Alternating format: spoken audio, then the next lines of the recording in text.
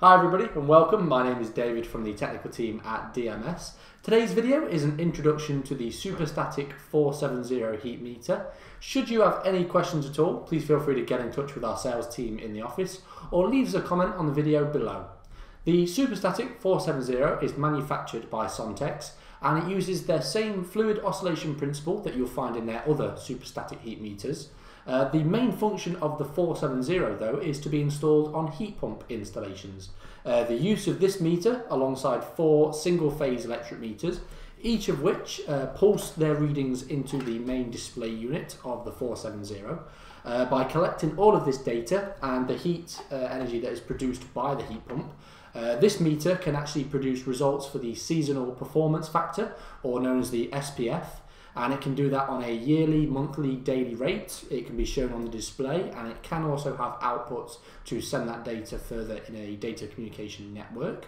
Uh, but by using the same fluid oscillation principle that you would find on the 440, 449, 749, 789 heat meters, uh, this meter can be used with glycol in its uh, measuring medium uh, without compromising on accuracy and speaking of the accuracy of the unit, it is MID class 2. Uh, this allows the unit to be used for commercial and domestic RHI installations. So not only can you measure the SPF of your heat pump installation, you can also submit readings to the RHI for government payback on your renewable heat source.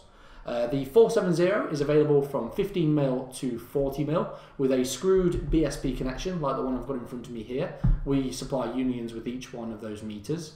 And then for larger sizes from 50mm up to 150mm, uh, the meters are supplied with PN16 flanges instead. Each meter comes with a pair of temperature sensors as standard, varying in their probe length to uh, equal the size of the meter that they're supplied with, and of course a pair of sensor pockets for the installation as well.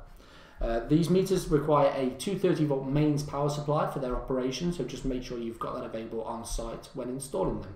And they can go in both horizontal or vertical runs of pipe. Generally, they will be calibrated for installation on the return, but as ever with the other uh, superstatic heat meters, we can reprogram them for flow installation if preferred.